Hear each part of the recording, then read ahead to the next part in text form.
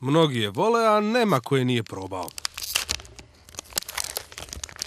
Tu je već godinama, a odnedavno i ova od 80 grama. Na izgled potpuno ista kao stara. Dobijamo zvanično objašnjenje da je Milka bila na dijeti zbog ekonomske krize. Pa mi smo u uslovima krize, a u sklopu naše, da kažem, korporativne odgovornosti, da zajednički podelimo sa našim potrošačima teret krize, odlučili da e, milku i to neke najprodavanije vrste 100-gramskih milki smanjimo sa 100 na 80 grama.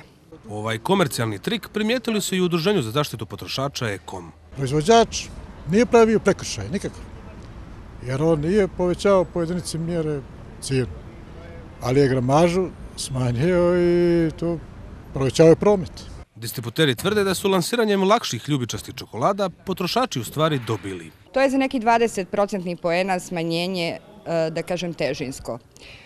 U isto vreme, međutim, mi smo uradili korekciju cene, tako da su cene e, tih e, milki koji su gramažno pali za 20% poena smanjene u proseku od 25 do 38 procentnih poena.